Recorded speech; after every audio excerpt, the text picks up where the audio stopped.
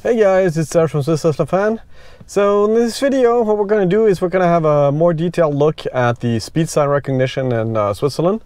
And uh, as it's the first update to contain these uh, speed sign recognition system, um, it's not perfect. And we're going to look at a few examples and we're going to talk about um, hopefully how it's going to evolve. Before I forget, don't forget to subscribe and hit not notification bell to get uh, notified when I release my next video. I'm a little bit more busy these days, so I haven't been able to put them out on a regular schedule, but I'll promise to do better. Anyway, thanks to all of you who've already subscribed. It really helps the channel a lot, and it's making it looking like we're growing more and more, and hopefully we'll reach uh, 1,000 soon.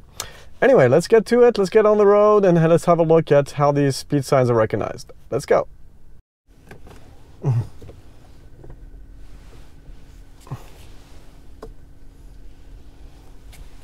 Okay, so we're starting in a place where there's no signs. So for the moment it says 50, which is actually not right. I've started here in a 30 zone. Um, but here again, um, it seems like 30 zones are not very well registered in the, registered in the cards and the maps. Uh, so that's a problem. All right, so let's here see here we're gonna get out of the uh, 30 zone. So on the left, there's a sign that says end of, end of 30 zone. And let's see if that pick, it picks it up. So yeah, you see that's the end of limitation sign, but it stays at 50. Okay, so here we're gonna get back on a road that is also 50, but we're gonna turn right away.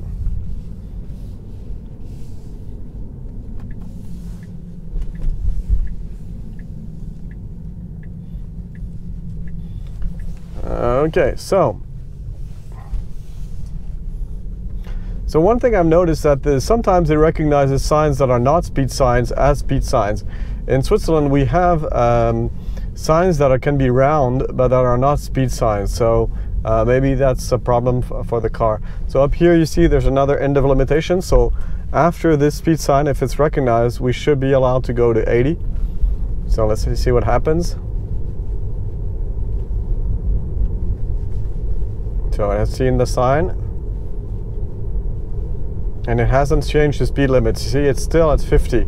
So I'm not sure. Okay, now look here. There's a 3.5 ton sign and a uh, single uh, direction sign. So yeah, here also is a problem because crossing is always an issue. And you can also appreciate the beautiful view on the Alps here in the background.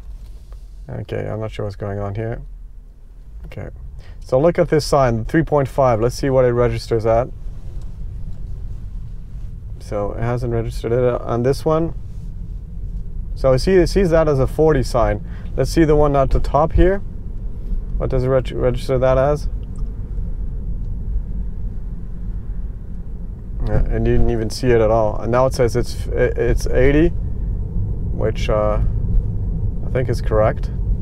Now here people don't realize that we're not supposed to cross easily. Okay. And now the 50 sign up here, can it see it? Yes. All right, so you saw that sign with the two arrows, the up and down arrow. Um, that one gets recognized as a 40 sign, and sometimes I get even weirder uh, recognitions. And here also, if you look closely on the left, there's somebody behind me, so I can't go too slow. But again, here there's an end of limitation 50 here. That's not recognized. Oh, yes, it is. But then there's a 2.5. I'm not sure I've seen that one. No, that's good. All right. Okay, let's continue. GoPro, stop recording. Okay, so up here there's this 40 sign that's up really high. So I'm wondering if it's going to be able to read that see the bicycle. Yeah, it did see it. That's good.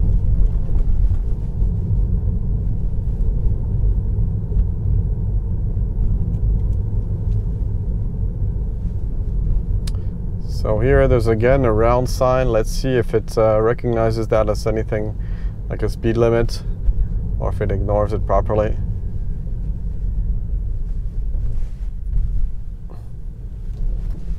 It seems to me that even in the same update, I'm not sure if it's possible for the uh, for the Tesla to download uh, new neural net uh, coefficients uh, without doing an update, but I think it might be because I seem to be seeing improvements in the uh, image recognition even though I'm not updating the uh, version. So here we're still correct, still says 40.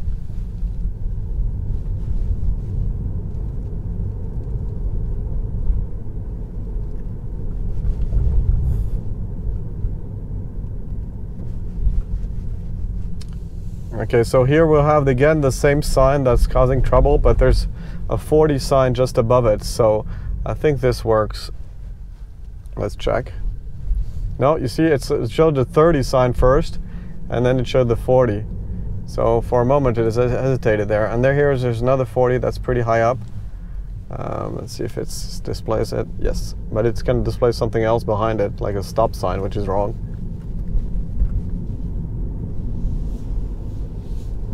Okay, so we should get out of this uh, 40 zone soon. There'll be a so there's a sign up here that still gives the limitation, and then immediately on the left, you can see there's the end of limitation. So let's see if it picked that up.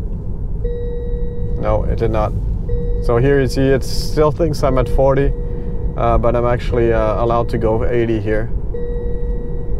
So that's why you hear it. Um, so that's one of the nuisances now that um, uh, there's the new system in place. It will scream at you for speed limits that are not correct. And now, as I've changed roads, it uses the map and it goes back to 80.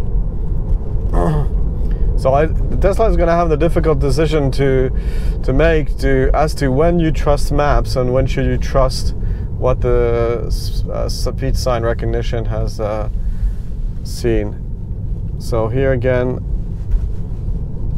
there's no sign, so I can just go over here.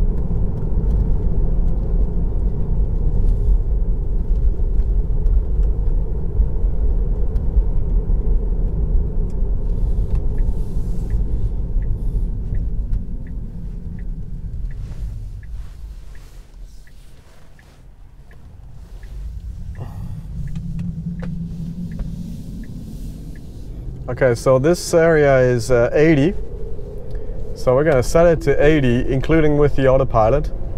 And watch closely what happens. Um, I think it's not on this sign, but I think it's on the next one. So there's a partially hidden sign on the right.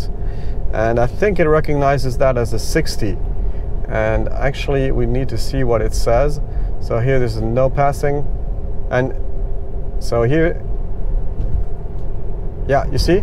So I recognize that it's a 60 and it's putting the speed down to 60, which is wrong. I can actually still drive up here at 80.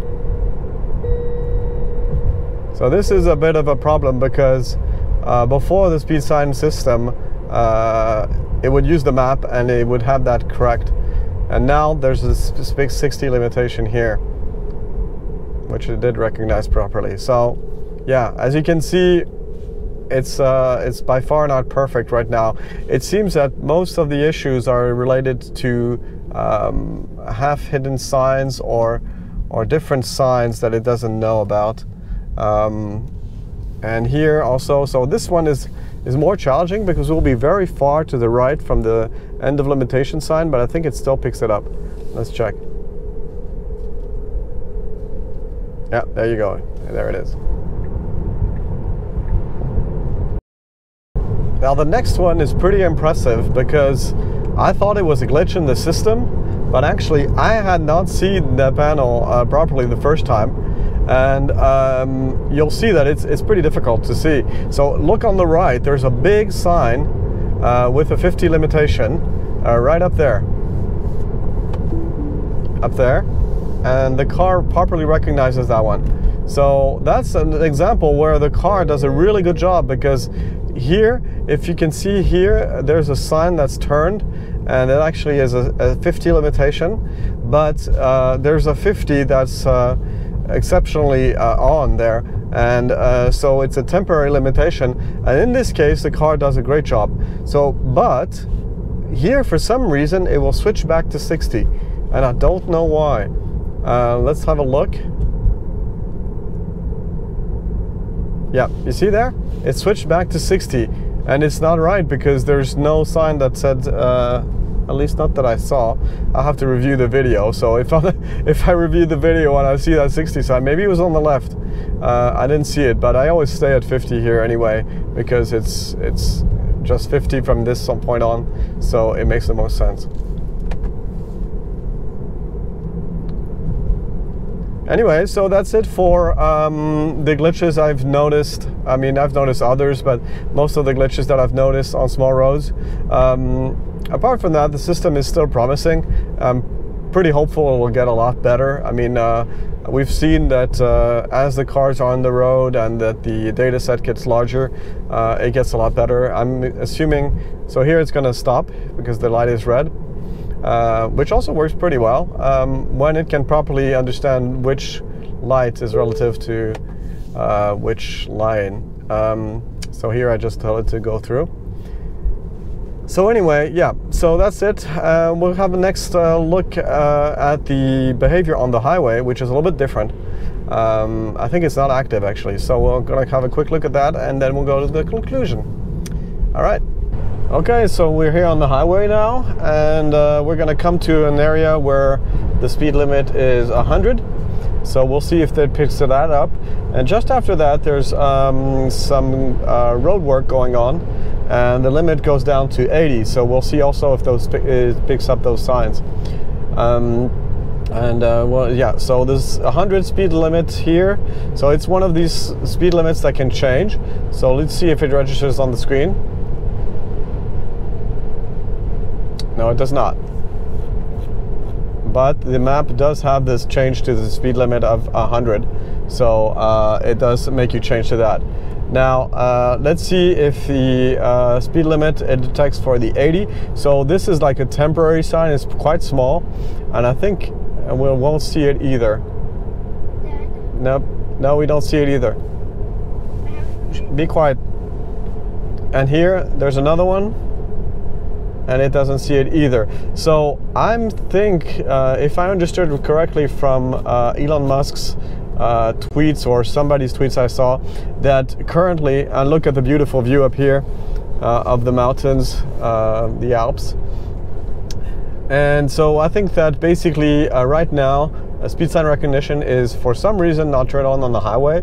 I am not sure if it's a limitation that the car cannot do it. So here again, an 80 sign and we are not going to see it on the map. No. So I don't think it's, I don't know if it's a processing issue, but I hope not because it would be worrisome if uh, it could not do it. Uh, but I think it's somehow just not activated uh, for the moment. So that's it for this part. Uh, there's another sign here. Let's see if it recognizes that one, but pretty much sure it doesn't. Oh yes, it did actually and that's just as I would got out of the um, autopilot. That's interesting. Okay, so we're just gonna test something quickly because I was uh, in automatic and I mean in autopilot and it didn't recognize the signs, but now I'm in full manual. Let's see if that changes anything. Uh, there's a 100 speed sign coming up, but let's see if it recognizes that.